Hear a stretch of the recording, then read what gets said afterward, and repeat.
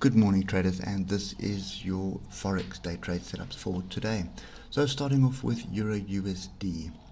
So um, this consolidation is still underway and we've been at it since uh, sort of late July at the moment. We're going sideways. Uh, key thing to, to understand here is that we do have a pretty big inverse head and shoulders brewing. This line in the sand, which is our neckline, um, and also um, the area of resistance, which is 118.880, and that is a pretty big area at the moment. So uh, we've had yet another attempt at it, we've bounced off it, and now we're moving back towards it. So you can see shoulder, head, shoulder, or you could say shoulder, head, shoulder, or you could say cup and handle. Doesn't really matter which way you look at it. Um, the other way that you could look at this is range.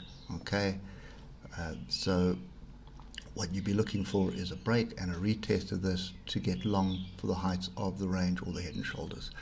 Okay, so break and retest of 118.880 is still what we're after. Um, in the meantime, looking at the one hour, you can see we've had some fairly strong pullbacks. I just want to readjust this level to pick up this area of support. You can see there all my tails. There's my swing low, there's my double bottom tests, pin bar, pin bar, bounced off it. I suspect we're aiming for uh, 118.880, so I'd be reluctant to jump in long on this. This was an area for long down here. Pri beautiful price action, pin bar, pin bar, um, level. That was an area for a long. Um, at the moment, we are going sideways, but uh, I would suspect a some kind of a pullback. And uh, what I would suggest you do is just put your levels in. So I'm using a few levels deeper down so it's this one and that one there. I think this level here is probably the stronger one which is 118.513 so I see a pull back onto this see if it holds and then there should be a long back up to 118.880 okay? And that will more than likely give you a smaller head and shoulders on the one hour. There's a shoulder there's a head and there will be the shoulder. Okay? Ultimately we're looking for the break of 118.880 and I do believe it's coming Okay, maybe not this week, but definitely, definitely on its way. Okay, uh, we have a bit of uh, confusion here on the uh, US dollar Japanese yen. So we had a bit of an inside bar on the 8 hour um, sideways, then we bounced up uh, pretty much into no man's land. Uh, I think the level is off the, the one hour. So let's just get there. Okay, so you can see there was the area that it was looking for. But if we sort of go to the left, you'll see a lot of interaction with this level here of 104.181. Okay, so always a good idea. Draw your levels of the 8 hour, then just fine tune them on the 1 hour and put in 2 or 3 so you can see everything that's in that area.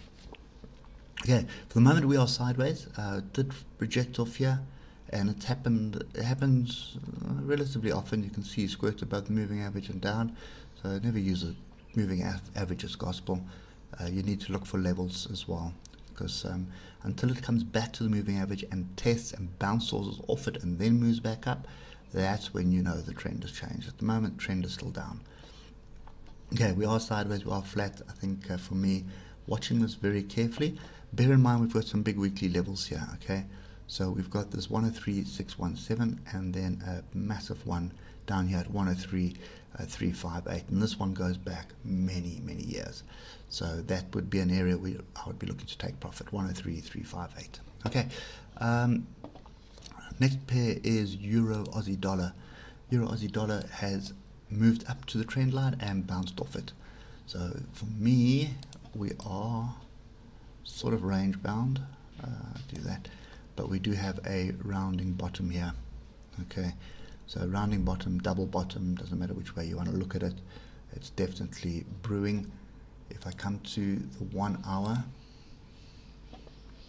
you'll see um, we are following this trend at the moment.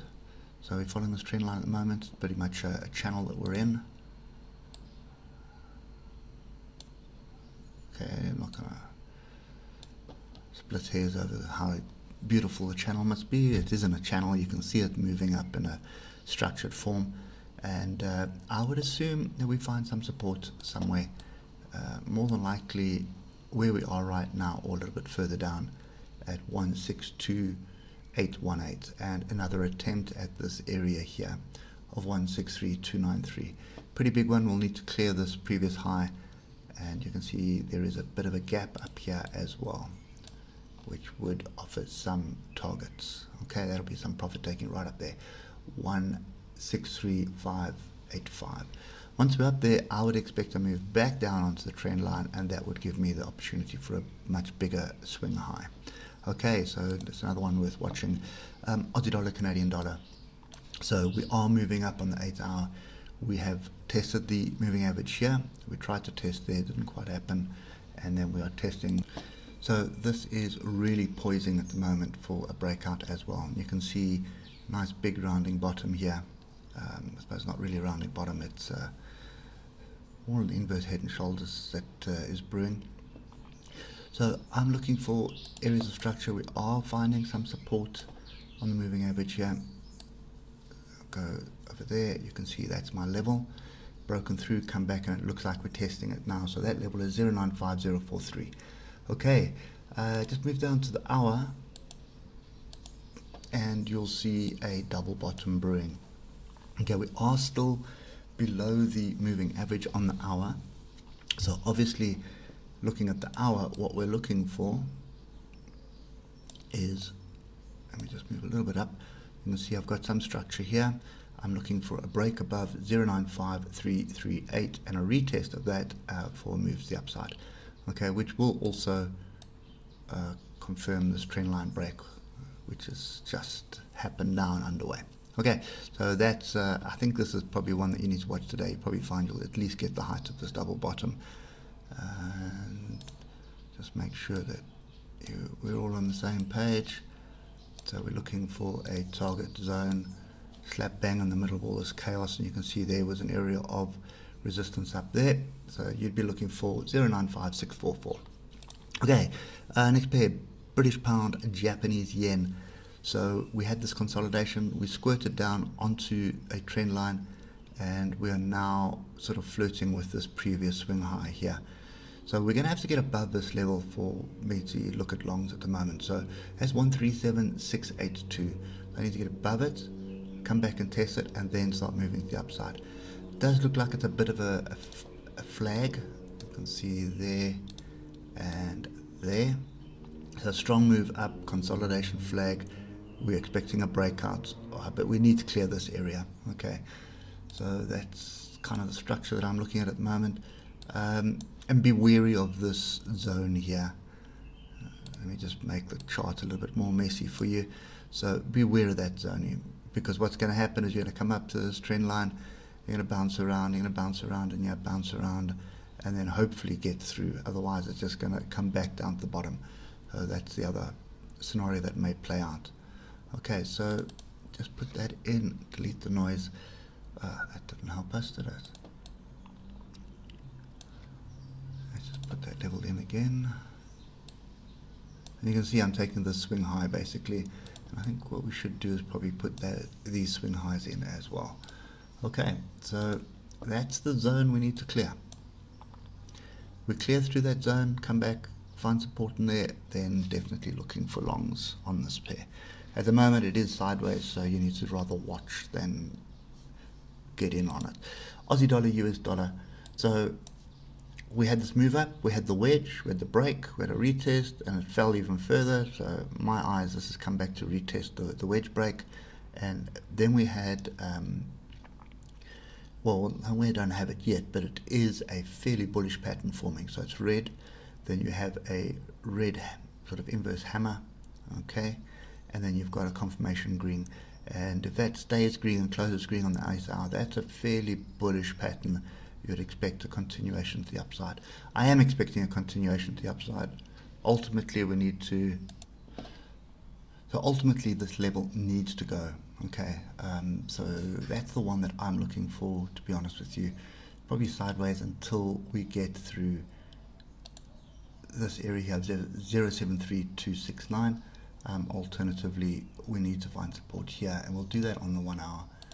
So you'll see break up, come back, find support here at 072874, then you should target that area first, 073269, and then ultimately a breakout to the upside to get our measured move for the flag. Okay, uh, last pair is British pound Aussie dollar. Uh, this is still going sideways. Uh, it is sideways to up at the moment, so it does look like we have a rounded bottom here. We're going to need to clear quite a few tails here before we actually get moving. Um, I'm just going to go straight to the one hour here because this is still something that I'm probably going to just sit and watch at the moment. So you can see we go sideways, squirt up, sideways, and it's kind of been the pattern: squirt up, sideways, sideways, squirt down, and down, sideways, sideways. So this is sideways for me at the moment. So I think um, really just going to sit and watch this at the moment. Uh, probably something next week brewing. You know the. If I look at the structure, we've been going sideways for a pretty long time. We've got the week here. Uh, you look at this chaos here. Okay, so yeah, it, it's kind of kind of difficult at the moment to to pick a direction on this pair, but I just I'm I feel something is happening here. You know, we've got buyers coming in off the bottom, and there must be a reason for it.